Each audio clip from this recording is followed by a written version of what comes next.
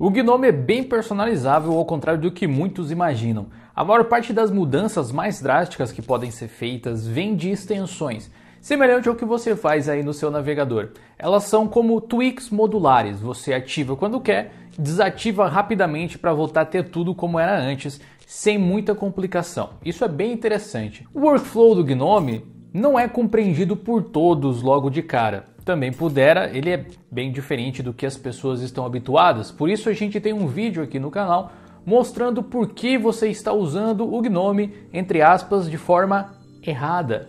O link está aqui na descrição e seria muito legal se você conferisse. No fim das contas, o computador ainda pode ter exatamente o funcionamento que você desejar no mundo Linux. Por isso, hoje você vai conhecer três extensões que mudam de forma drástica a forma com que você interage com o Gnome Shell. O que me lembra uma coisa, se você quiser mudar a forma com que você interage com a internet, não deixe de conferir os serviços de hospedagem da HostGator, o nosso patrocinador de hoje. Não importa se você precisa de servidores compartilhados, VPS, até servidores dedicados, eles vão ter tudo isso para rodar qualquer tipo de site. Na descrição você encontra um link para contratar os serviços deles com um descontinho bacana que eles colocaram para os inscritos aqui do canal.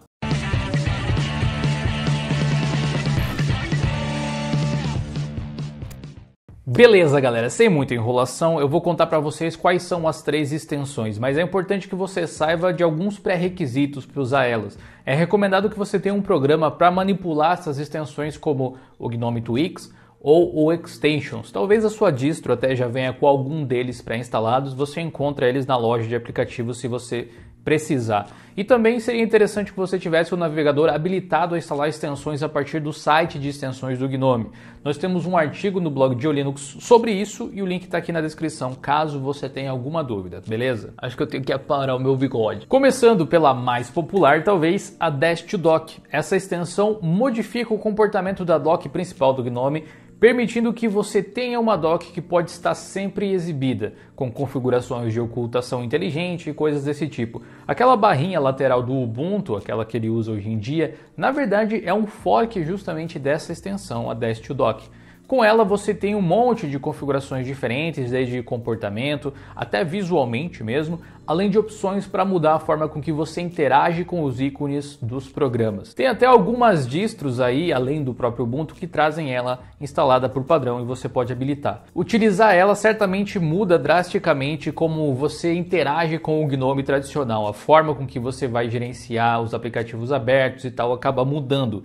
E o link para todas as extensões que eu for mencionar está aqui na descrição para ficar fácil aí para você. A próxima extensão que eu quero falar é uma prima irmã da Dash to Dock, é a Dash to Panel.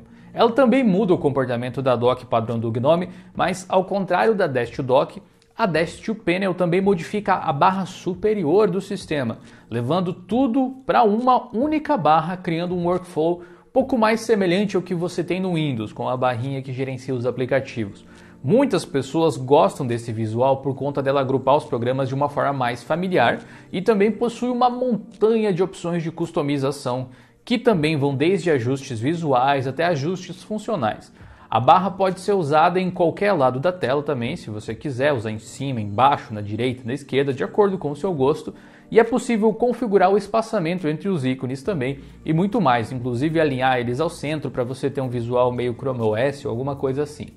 Agora, antes de te mostrar a última, que é de longe a que mais modifica a sua forma de interagir com o computador, deixa eu te lembrar de clicar no like e verificar a sua inscrição no canal. É bem rápido e ajuda a dizer para o YouTube que você gosta desse tipo de conteúdo. Assim é mais provável que um novo vídeo nosso apareça aí para você na sua home, beleza?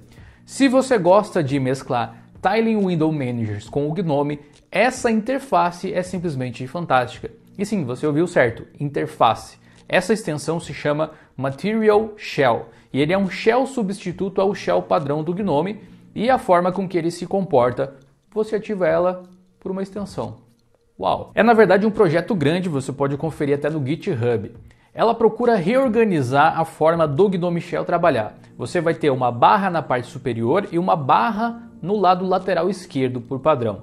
O Material Shell vai organizar automaticamente as aplicações que você abrir, assim como a extensão nativa do PopOS faz utilizando esse sistema de Tiling Window Manager, colocando abas da navegação e itens em categorias que podem ser customizados, o seu workflow vai ficar bem diferente. Quando nada está aberto, você apenas vê uma caixa de pesquisa onde você pode abrir ou pesquisar pelas suas aplicações de um jeito meio Android-like até.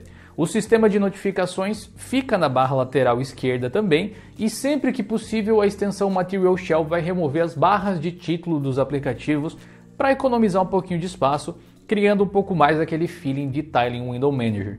Com um simples clique, você consegue mudar a forma com que as janelas são apresentadas, se você vai querer vê-las em cheia ou divididas, se você vai querer fazer com que elas flutuem. Tem uma montanha de teclas de atalho customizadas também para você utilizar esse ambiente. E nas configurações da extensão, você pode ajustar alguns aspectos visuais e mudar também a forma com que o sistema de gerenciamento de janelas se comporta. Sem dúvida, requer uma grande adaptação mudar para o workflow do Material Shell desse jeito. Mas muitas pessoas que usam esse ambiente, usam esse sistema, têm dificuldade de mudar para qualquer outro mais tradicional, justamente por ter um workflow tão diferenciado. E claro, se você quiser voltar ao normal, é só desligar a extensão. Essa talvez seja uma das coisas mais bacanas. Inclusive, isso me lembra que eu tenho uma dica extra para você. Na verdade, eu tenho duas dicas extras.